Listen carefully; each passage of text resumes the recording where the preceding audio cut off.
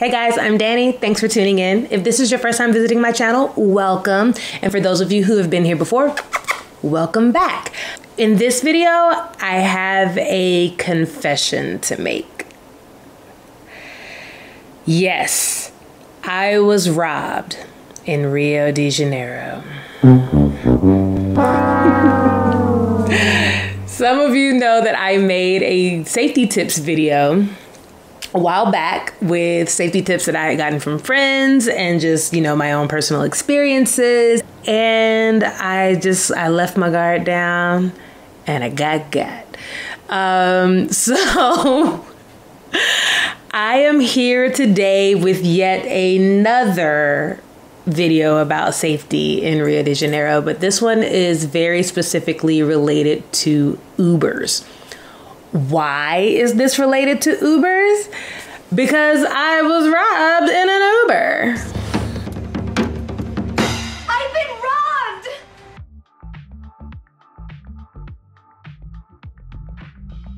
So before I get into these safety tips, let me paint this picture for you. Um,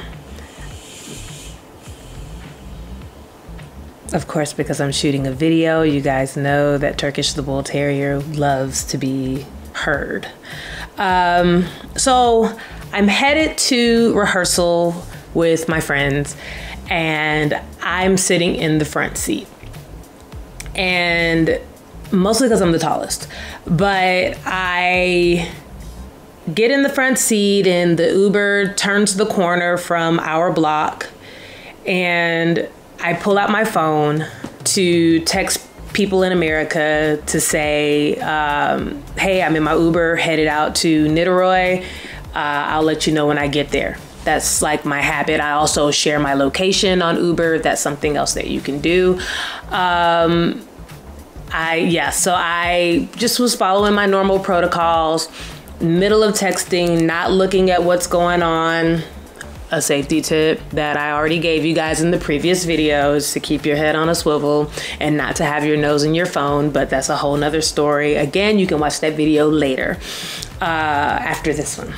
So I'm typing, typing, typing, and the next thing I know, a little hand just comes out of nowhere and yoink, takes my phone. I scream. I scream. And I got so mad that I punched the dashboard of the car three times because I knew that I, I, knew that I had messed up. I knew that I had messed up. And I finally like get all my gather my things and I get out of the Uber, like just on the street. I just get out of the Uber and I was like, I'm gonna walk back home because I know that kid is gone. Um, and I'm just gonna go home. I don't wanna go all the way to Niterói without a phone. Cause I mean, if I get separated from y'all, how am I gonna get home? It just I I didn't want to deal with that. I couldn't even call an Uber to take me back to the apartment. Oh, I was just devastated. So I'm walking down the block and I am just boo hooing you guys. Like, I'm snot crying at this point because I was basically there alone. Yes, I have friends there, but it's not the same. You know what I mean? Um, so all of my contacts are gone, all that good stuff, you know, just gone. And I am snot crying walking down the sidewalk and people are looking at me like, "Oh, I don't they don't know what happened, but they feel bad. You can tell that strangers are feeling bad for me."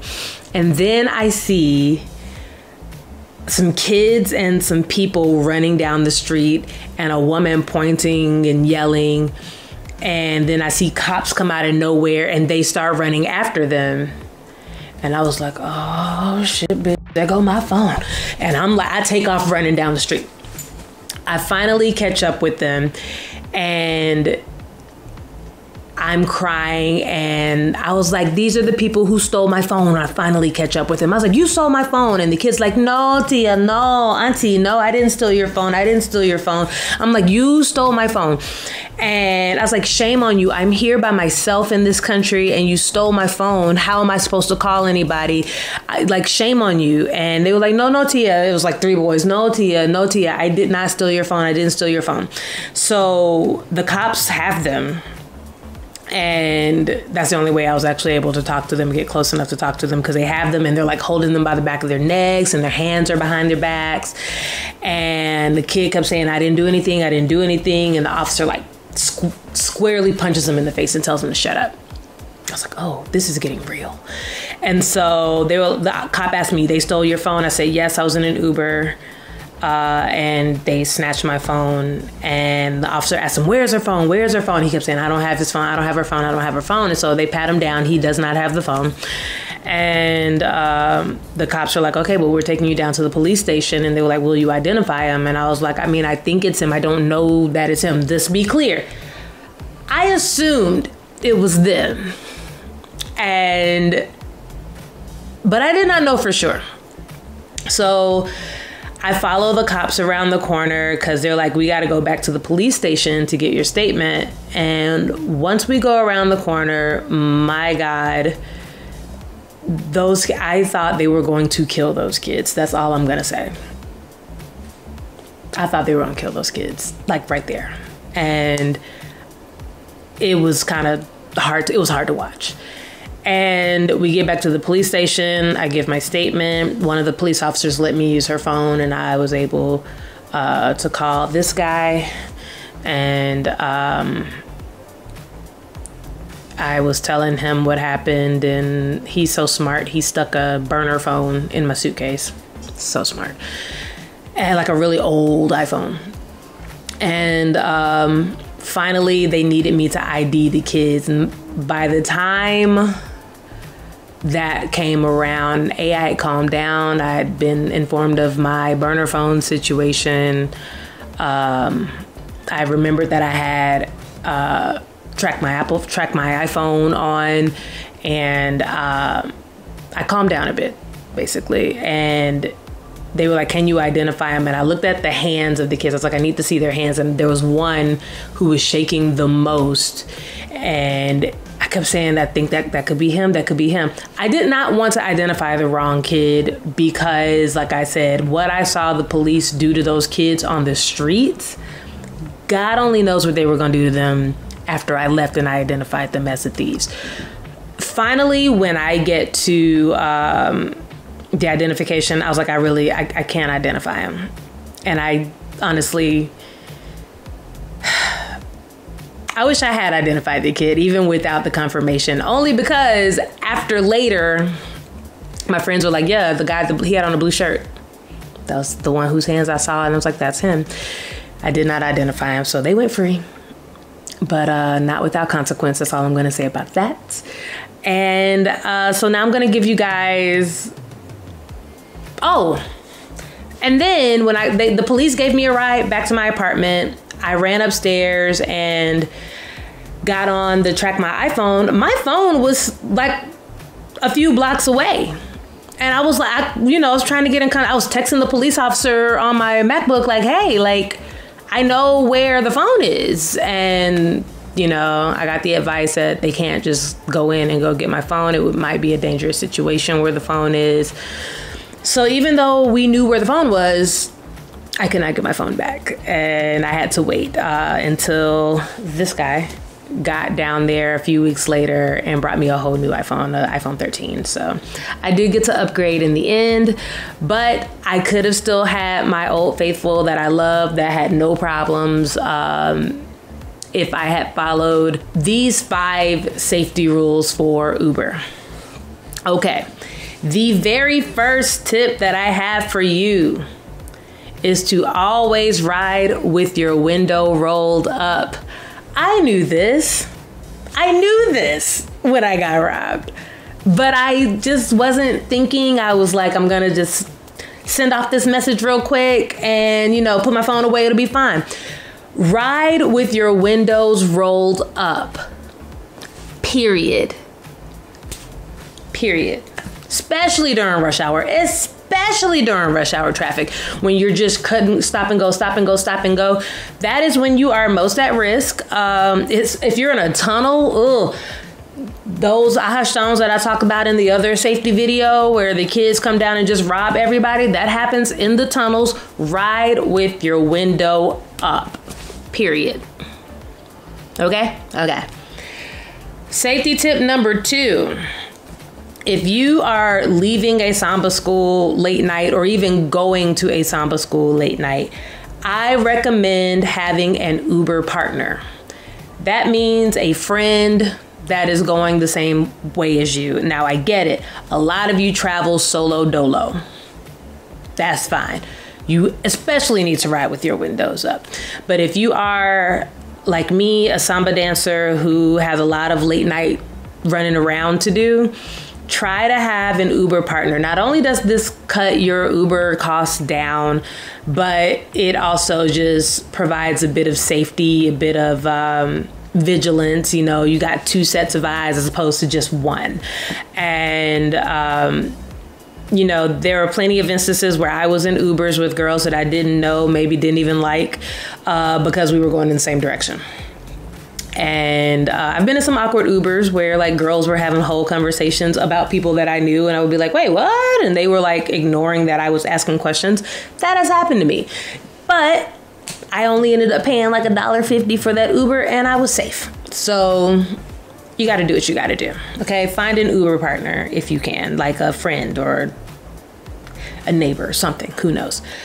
Uh, number three. Number three. Um, try to book Uber Comfort. If you're going during the summer months, which would be January, February, and March, it's hot. It's hot. So I book Uber Comfort, and you can set your preference for air conditioning. And this way, you're um, you're pretty much guaranteed that the windows are going to be rolled up. You can book a Uber X, and that car, well, they'll like I've had drivers just tell me no. Can you turn on the air conditioning? No. Like, why are you driving Uber? You don't want to turn on the air conditioning. Like, they they won't. They won't turn change the music. Some drivers are just that way, and what are you gonna do other than give them four stars? You know what I mean? So, um, yeah, try to book an Uber Comfort so you can get air conditioning. Sometimes it's the same price. Sometimes it's just like a hair more. Sometimes, sometimes it's actually cheaper. Just saying. Just saying. Tip number four is to utilize all of the safety features that are built into Uber. There are now there's now a way for you to set a code in Uber to where the driver won't even take off until you give them the three digit or four digit code. This way they know who you are, you know who they are. Always set a code especially if you're going to a place where there's a whole Uber queue where everybody is leaving the venue at the same time and trying to get Ubers, make sure you set a code. And this way, the Uber driver has to confirm who they are. Also, share your location. You can do this within the app. Um, share your location with someone else on Uber. I share my location for every Uber with this person. If you are not the person who called the Uber and you don't, you know, you can't share your location. Um, and they haven't quite done the split the fare thing that you can do also within the app. Um, share your location on WhatsApp. WhatsApp is very popular down there. It's almost the only way to communicate via text message. Uh, SMS is not really a thing down there. In WhatsApp, share your location with someone. Just send them a text with your live location for, you know, 15 minutes or an hour, however long you think it's going to take you to get to where you need to go.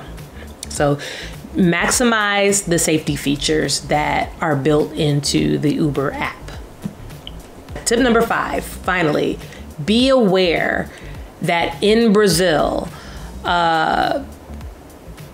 things are a lot less regulated in general.